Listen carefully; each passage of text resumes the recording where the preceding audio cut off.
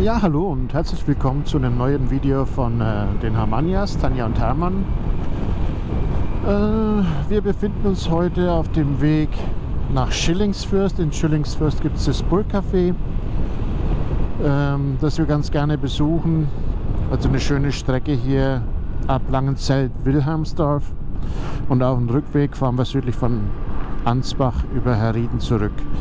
Äh, was mache ich heute bei dem Video? Ich will euch nicht nur die Strecke zeigen, beziehungsweise jetzt den Anfang der Strecke. Äh, ich würde euch heute gerne was über meine Ducati erzählen. Hintergrund ist, ich habe die Ducati jetzt ja, ein Dreivierteljahr. Im August werden es zwei Jahre, dass ich die habe. Und ich hoffe, man kann es sehen am Display. Ich habe die 20.000 Kilometer überschritten. Also ich bin mit dem Motorrad jetzt 20.000 Kilometer unterwegs gewesen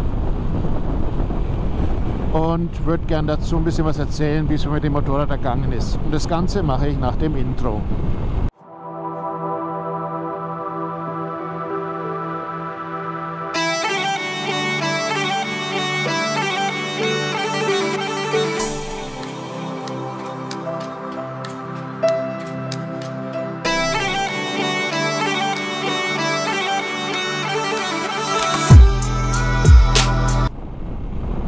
Hallo zurück. Vor mir seht ihr die Tanja fahren. Ähm, überall Burschengruppen, die unterwegs sind am Vatertag. Wir haben also heute Vatertag. Ähm, ich möchte ein bisschen was erzählen über meine Ducati. Ich habe es ja schon vorhin in der Einführung gesagt. Wir sind jetzt fast zwei Jahre zusammen. Oder über 20.000 Kilometer. Ich habe jetzt umgeschalten auf das Navigationssystem ich bin es einfach auch vom Auto her gewohnt, dass ich die Navigation immer laufen lasse. Da sind wir auch schon beim ersten Thema. Es hat anfangs ein bisschen gedauert und ein Software-Update benötigt, ähm, bis, bis das mit dem Ducati Connect funktioniert hat. Also mittlerweile funktioniert es einwandfrei. Ähm, jetzt seht ihr gerade, ich habe das Ducati-Display und zwei Handys noch oben drauf mit angeschraubt. Das obere Handy, mit dem lasse ich Kalimoto laufen. Das ist bei mir die bevorzugte ähm, Navigationssoftware, weil das Sygic unten das umständlicher ist, äh, Routen zu planen für Motorradfahrer. Das ist ganz gut, wenn man von Punkt A nach Punkt B fahren will, ähnlich wie ein Autonavigationssystem. Aber äh, man kann zwar mit Sygic, was die Software davon ist, am Computer Routen planen, aber die Übernahme funktioniert da nicht immer. Da sind plötzlich dann leicht veränderte Routen drin und Strecken, die ich nicht fahren wollte und die, die ich fahren wollte, sind nicht mehr drauf. Deswegen nutze ich nach wie vor Kalimoto. Und das untere Handy, das ist äh, das Handy, das jetzt mit der Ducati verbunden ist. Das liegt daran, ähm, Ducati möchte exklusiv Zugriff aufs Handy haben. Also wenn ihr das Handy laufen habt, mit der Ducati Connect App könnt ihr nicht nebenbei beispielsweise Spotify laufen lassen. Jetzt ist aber so, ich höre ganz gerne beim Motorradfahren auch ein bisschen Musik. Das funktioniert.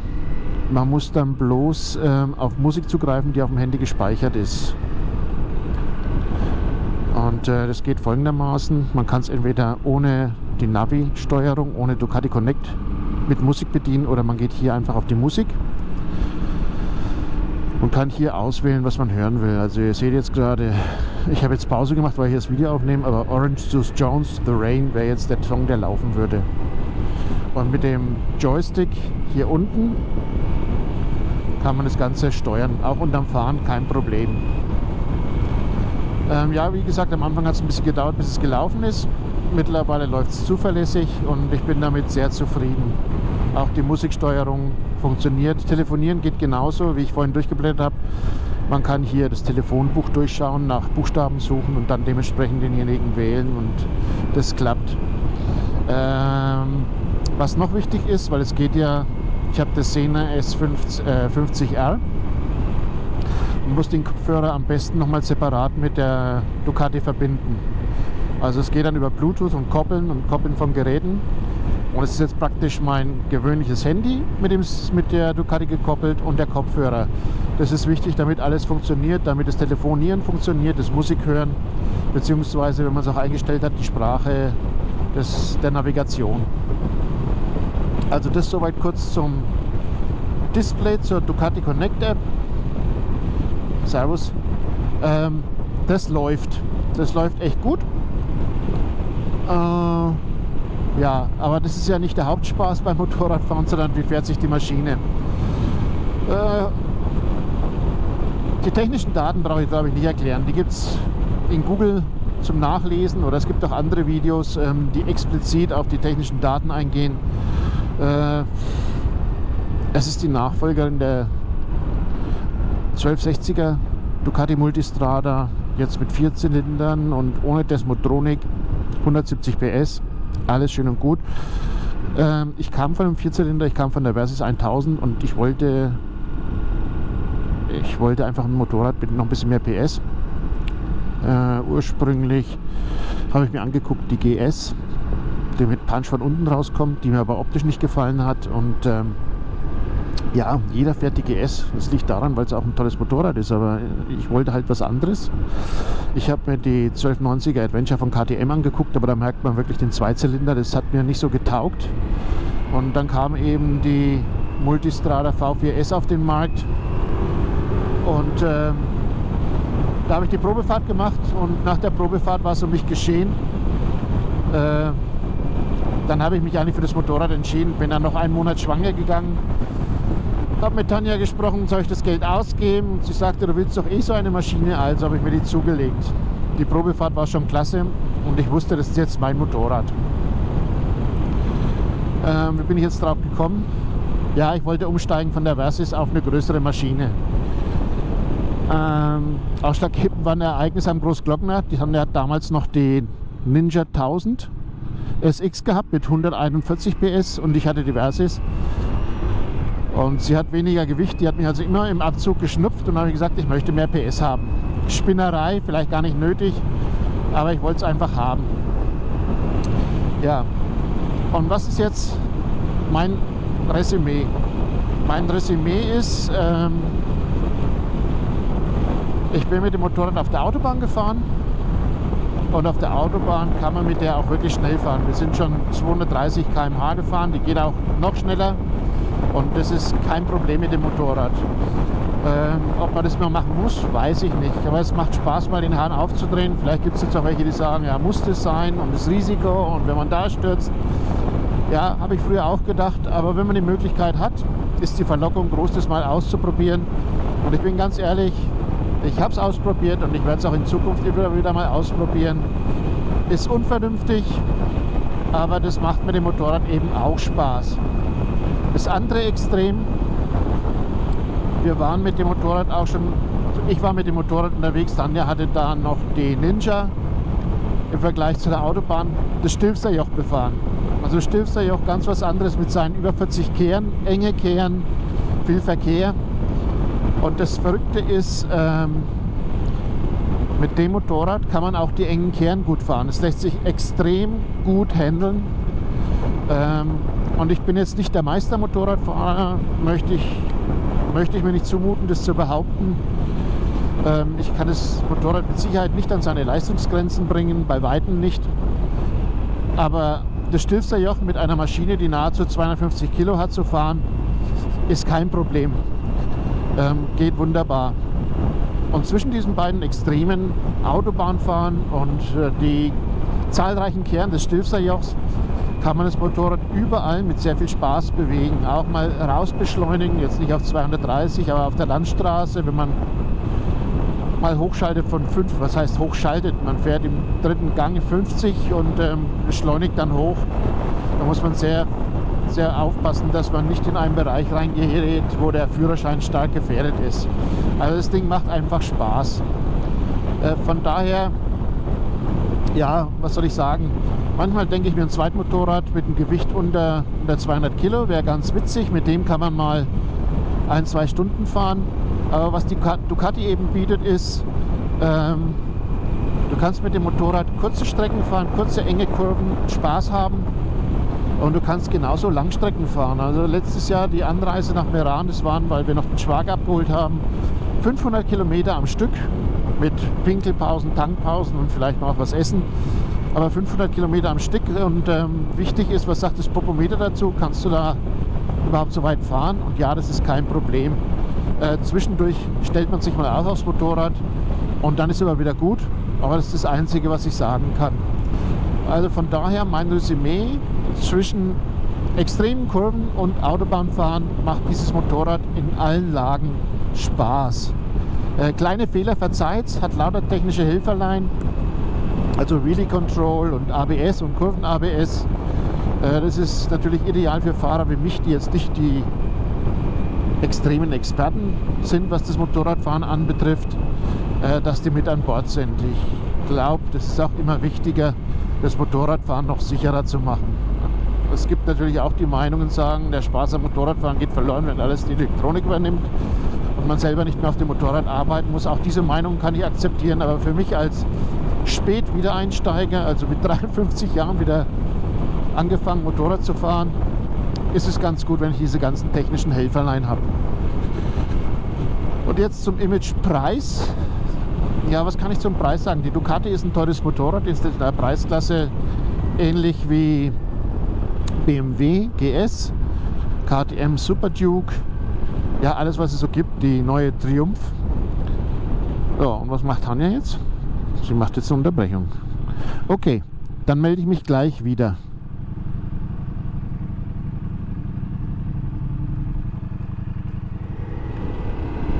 So, da bin ich wieder. Also es war ein kurzer Boxenstopp, weil ähm, meine bessere Hälfte mal ins Gebüsch musste. Okay, äh, jetzt muss ich meine Gedanken wieder sammeln. Also wir waren bei den Kosten. Ähm, ja, was kann ich sagen? Ähm, der Preis hatte ich ja schon angefangen. Ähm, der Preis ist ähnlich wie bei GS, KTM, Triumph. Diese Maschinen kosten einfach ein bisschen Geld, haben aber auch einen Haufen Technik mit drin. Ähm, ja, Wiederverkaufswert. Ich habe mal spaßeshalber geguckt, äh, was Motorräder mit der Kilometerleistung, mit dem Baujahr kosten wie, wie meine. Äh, da bin ich, was ich da gesehen habe, knapp unter dem Preis, den ich bezahlt habe. Also der Werterhalt ist recht gut. Und zu den Inspektionskosten, ja, jetzt bin ich leider gerade unterwegs. Ähm, gefühlt habe ich gemeint, der Preis war okay. Ich hatte ja die Tausender Inspektion und die 15.000er. Ähm, kann ich aber zu Hause nochmal nachgucken und werde ich dann einbauen in dieses Video. Äh, Inspektion, wie gesagt, interessant für Vielfahrer. Ähm, der Inspektionszyklus ist alle 15.000 Kilometer oder einmal im Jahr. Wir schaffen so 11.000 bis 12.000 Kilometer.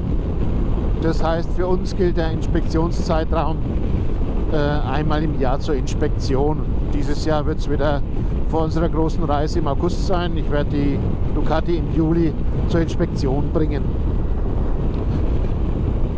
Ja, was fällt mir noch ein? Vorhin hatte ich noch einen Gedanken. Ah ja, jetzt weiß ich, was ich noch sagen wollte. Äh, mit dem Software-Update kam auch die Möglichkeit, das Motorrad abzusenken, wenn man äh, beispielsweise im Stadtgebiet ist. Ich habe die Sitzbank äh, in der höheren Stellung. Man kann die Sitzbank also auf einer niedrigeren und auf einer höheren Sit äh, Stellung festmachen. Und ich bevorzuge die höhere Stellung, weil ich dann unterm Fahren äh, einen geringeren Kniewinkel habe. Wenn wir dann stehen, an einer Ampel beispielsweise oder an einer Kreuzung, wo wir Vorfahrt gewähren müssen, dann komme ich mit beiden Füßen platt auf den Boden. Aber ähm, ja, der Schrittbogen, der zwickt ein bisschen dabei. Und dann gibt es die Möglichkeit, wenn man den Knopf tätigt für die Federung, dann geht die auf Minimum. Das heißt, das Motorrad senkt sich dann nochmal ab und dann habe ich einen extrem bequemen Stand. Ich bin 1,85 Meter groß und äh, das ist dann wirklich total easy. Also Kräfte, die, die kleiner wären als ich, 1,75 beispielsweise, wenn die die Sitzbank auf die niedrige Stufe stellen und diesen Knopf betätigen, dann kommen die auch sehr gut mit den Füßen auf den Boden runter. Also das ist auch nochmal ein schöner Aspekt, ähm, der das Moped, das Motorrad ähm, das eine angenehme Nutzung zulässt. Ja, man sieht, Wetter passt heute, sind doch ein paar Motorradfahrer unterwegs. Okay. Ähm, was hat das Motorrad noch an Bord? Was man so immer wieder nutzen kann. In der Regel fahre ich immer Tanja hinterher, so wie heute auch.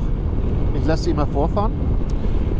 Ähm, und was dann auf langgezogenen Strecken oder wenn mal ein Zwischenstück ist mit einer breiten Landstraße oder auch mit einem Frankenschnellweg beispielsweise, dann schalte ich den Tempomaten ein. Das ist ein adaptiver Tempomat. Sprich, ich stelle die Geschwindigkeit ein auf dem Frankenschnellweg bei Tempo 80, beispielsweise 90 und er hält immer den Abstand gleich zur Tanja, also wie man es auch aus dem Auto kennt.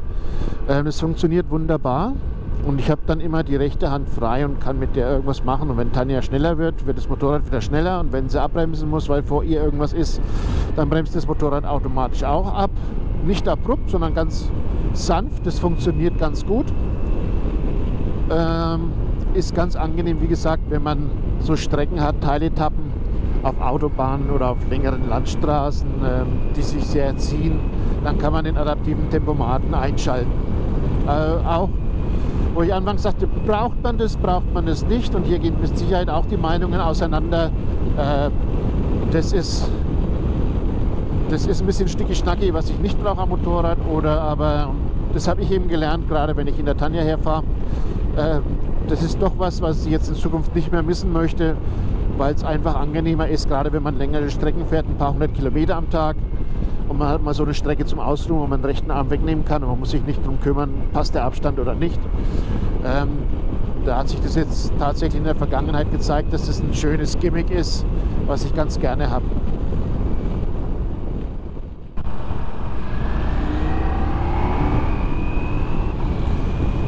Ja, jetzt ist mir wieder was eingefallen. Ähm, es liegt daran, heute, das merkt man zwar auf dem Video nicht, aber ähm, es geht trotzdem ein ganz schöner Wind. Und Wind ist das Stichwort ähm, Windschutz, Windschild und allgemeiner Schutz. Ja, kann ich nur sagen, hervorragend. Hoppla, das war eine Mücke. Ähm, der ist einfach ganz, ganz genial. Äh, warum sage ich das? Den Wind von vorne, klar, merkt man ständig. Also ich bin, wie gesagt, 1,85 Meter groß, nicht der schmalste, aber ich habe von vorne einen Top-Schutz. Und was ebenfalls gut ist, die Beine sind gut geschützt. Also durch die Form der Ducati ähm, sind die Beine schön integriert. Und ähm, man ist bei Wind und vorne schön geschützt. Und ähm, was noch wichtiger ist, wenn es regnet. Wir sind letztes Jahr von Kaprun aus nach Hause gefahren und ähm, ja, es hat nur geschüttet. Und ähm, wir sind dann deswegen über die Autobahn nach Hause gefahren, weil es hat dann keinen Bock gemacht, bei tiefstem Regen oder bei stärkstem Regen äh, irgendwie noch über die Lande zu fahren. Und äh, klar ist man ein bisschen nass geworden. Wir hatten dann auch den Schlumpfanzug, also unseren gelben Regenanzug an. Ähm, aber man ist relativ wenig richtig nass geworden. Also die Hände, okay, da kann man nichts machen, aber Oberkörper, Beine, die waren eigentlich recht gut geschützt und äh, von Kaprun aus bis Nürnberg kann man sich vorstellen, wie weit die Strecke ist. Und den Schlumpfanzug habe ich dann ausgezogen und ähm, da war so gut wie gar nichts nass, außer die Ellbogen. Da war es ein bisschen feucht. Und die Schultern bilde ich mir ein. Aber ansonsten der ganze Oberkörper, die Beine, die waren echt prima. Die sind mehr oder weniger trocken geblieben. Und äh, hier als Resümee eben ein super Windschutz und Regenschutz, den das Motorrad hier bietet. Also auch da kann man nicht meckern.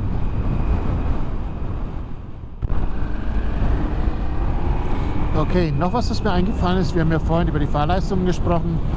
Ähm, ja, mit der Leistung hat man mit diesem Motorrad in allen Lagen einfach nur Spaß. Äh, ganz klar. Äh, was dazugehört, ist natürlich auch die Bremse. Und ja, die Hinterradbremse ist wie bei den meisten Motorrädern also nicht der große Burner. Damit bringt man Motorrad nicht richtig zum Stehen.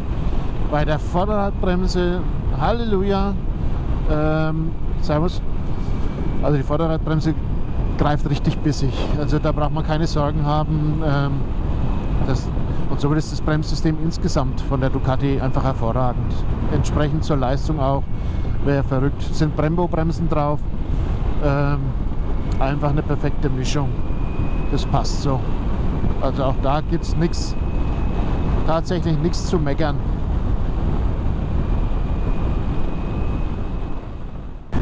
Jawohl, ganze Gruppe, Servus. Jetzt ist mir wieder was eingefallen, was ich äh, euch erzählen könnte. Das Motorrad hat natürlich einen Schaltautomaten ähm, zum Rauf- und Runterschalten. Ihr braucht keine Kupplung, sprich beim Hochschalten Gas auf Last haben, Gas geben und hochschalten. Das mache ich ganz gerne, wenn ich mal rausbeschleunige. Also ohne Kupplung einfach Gas geben und hochschalten. Und das Ganze geht auch beim Runterschalten. Das heißt hier Gas wegnehmen und schalten. Das funktioniert alles einwandfrei. Also auch vom ersten im zweiten Gang. Wo es bei manchen Videos, bei manchen Motorrädern heißt, ähm, ja, man bleibt dann im Leerlauf hängen. Stelle ich mir ein bisschen problematisch vor. Ähm, funktioniert hier also vom ersten im zweiten Gang klickt man hoch und bleibt nicht im, Leerlauf hängen. Also ist mir noch nie passiert. Und ähm, ja, beim Runterschalten, gerade wenn die Geschwindigkeit nicht so hoch ist, ähm, ja, dann klackt es schon ein bisschen, macht wahrscheinlich nichts aus, aber ähm, dann ich doch schon mal die Kupplung. Ähm, genauso beim Hochschalten, wenn wir jetzt smoother fahren, Tanja vor mir und ähm, die Drehzahl ist nicht so hoch vom Motorrad, dann ziehe ich schon auch nochmal die Kupplung. Aber wenn man richtig Gas gibt, dann braucht man tatsächlich keine Kupplung.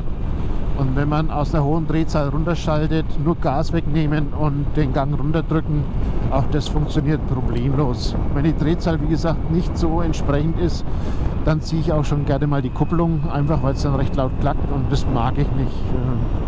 Ich denke, das macht dem Getriebe nichts aus, aber muss ja nicht unbedingt sein. Okay, das zum Quickshifter und zum Blipper, also zum Schaltautomaten. Auch da gibt es bei der Ducati Multistrada V4S nichts auszusetzen. Was mir gerade noch einfällt, ja, es ist die V4S Full. Bei der V4S Full ist der Akrapovic-Auspuff automatisch dabei gewesen. Ähm, Sound. Ich habe natürlich immer meinen Helm auf, also man nimmt den nicht immer so eins zu eins wahr. Wenn man vorbeifährt, die Leute gucken schon, also ich nehme an, die ist schon zu hören. Äh, wo man es aber trotz Helm richtig gut hört. Ich versuche das mal jetzt zu zeigen. Ich habe jetzt kein Mikrofon am Auspuff dran. Ab 5000 Touren fängt sie an, so ein bisschen zu schreien. Das hört sich echt genial an.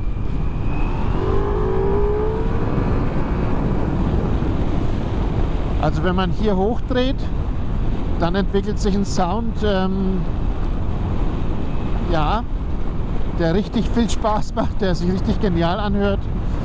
Ähm, die Ducati kann auch Musik spielen, also bringt einen genialen Sound raus, kann man sich, kann man sich anhören, macht Spaß, aber eben ab einer gewissen Drehzahl erst. Also im unteren Drehzahlbereich merke ich jetzt nichts von Emotionen und von einem irren Gefühl, aber so ab 5.000, 6.000, wenn man dann hochdreht, dann kann man richtig ein schönes Ohrengeräusch erleben. So, das war es jetzt wieder. Vielleicht fällt mir noch was ein. Ich melde mich auf jeden Fall nochmal.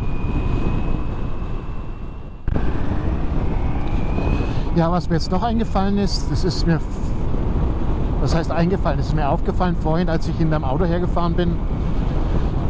Ähm, mir es, ist mit Sicherheit auch nicht jedermanns Sache. Man hat hier eine hohe Sitzposition. Dadurch ist man immer in der Lage, über das Fahrzeug vor sich hinwegzusehen, außer man hat natürlich einen Kastenwagen oder einen LKW vor sich, logisch nicht. Aber beim PKW ist man in der Regel immer in der Lage, drüber wegzugucken und hat den Verkehr weiter vor sich im Auge äh, und kann abschätzen, wie die Verkehrssituation ist. Mir gefällt es ganz gut, aber es gibt mit Sicherheit auch andere Leute, die sagen, nee, sowas kann ich überhaupt nicht gebrauchen. Das ist nicht die Art Motorrad, die ich mag. Die mögen vielleicht äh, Motorräder, die enger auf der, oder niedriger auf der Straße sind. Das ist die Ducati Multistrada definitiv nicht. Äh, und damit auch, ja, vielleicht geht's. Also ich habe es noch nicht ausprobiert, ich habe es auch nicht vor. Es ist kein Motorrad für Knieschleifer. Also wenn man jetzt sagt, man möchte mit dem Knie so nah wie möglich am Asphalt, am besten an dem Entlangschleifen, das sind wir nicht. Ich glaube, das ist das Motorrad auch nicht, was dafür gemacht ist. Da wäre vielleicht von Ducati eher die Panigale oder die Street Fighter angeboten. Die sind niedriger, mit denen kann man die Kurven bestimmt so fahren, dass man auch mal mit den Knien schleift. Es gibt aber auch andere Motorräder, die S1000R RR von BMW oder die H2SX von Kawasaki und MT10 Yamaha oder was weiß ich. Äh, das sind bestimmt Motorräder, mit denen man die Kurven noch enger nehmen kann, noch tiefer nehmen kann. Ähm, aber das ist eben nicht das, was ich möchte und ähm, von daher ist die Ducati ideal für mich, weil ich hier eben die erhöhte Sitzposition habe, ist auch für längere Fahrten viel angenehmer. Und ähm, ja, diese Vorschau, die ist echt gut.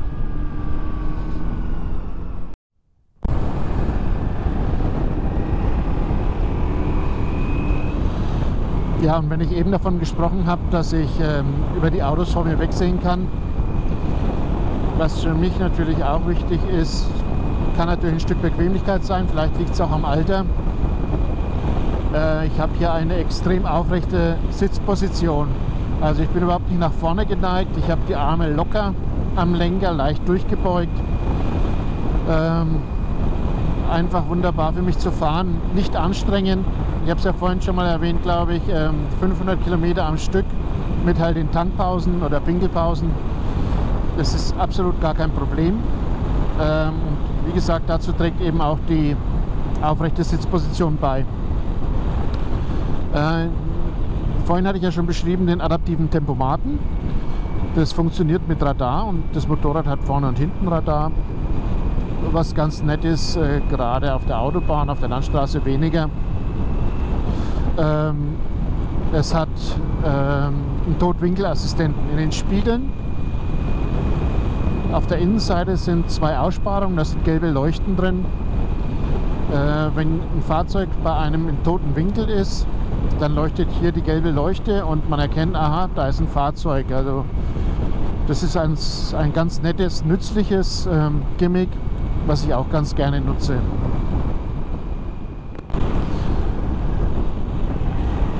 So, wir kommen jetzt langsam zum Abschluss des heutigen Ausfluges und damit auch ähm, für mich zu meinem Schlusswort zu der Ducati Multistrada V4S, die ich eben seit im August zwei Jahren, im August werden es zwei Jahre fahre und auf der ich jetzt schon über 20.000 Kilometer drauf gefahren habe. Ähm, ich kann für mich sagen, ich habe für mich das passende Bike gefunden. Ich komme mit dem Bike total gut zurecht.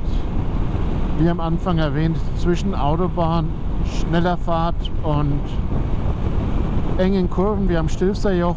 Ich kann mit dem Motorrad alles fahren und jede Situation macht tierischen Spaß. Ähm, das einzig Negative, wenn man es so bewerten möchte, ist der Spritverbrauch und der Spritverbrauch ähm, habe ich ja auch genug dazu gesagt, dass der einfach beim Motorrad eh unvernünftig ist, weil es nicht sinnig ist, mit dem Motorrad die ganze Zeit durch die Gegend zu ballern. Aber es macht da einfach tierischen Spaß und von daher stört mich der Spritverbrauch der Ducati nicht. Ich hoffe, es waren interessante Punkte für euch dabei. Es hat euch gefallen.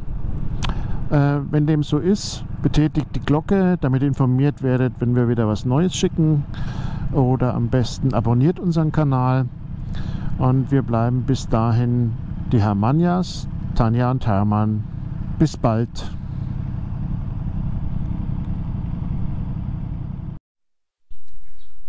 Also Leute, jetzt muss ich euch schon mal fragen, jetzt abgesehen von den Mückentreffern, die da drauf sind, ähm, die haben wir noch nicht sauber gemacht. Aber ist das nicht eine Schönheit? Schaut euch das mal von vorne an. Also doch Wirklich ein wunderschönes Gesicht. Ich finde sie einfach toll. Der schöne Akrapovic-Auspuff noch dazu. Wunderbar. Also ich finde wirklich ein geniales Motorrad. Gefällt mir gut. Ich denke, ich habe für mich die richtige Entscheidung getroffen.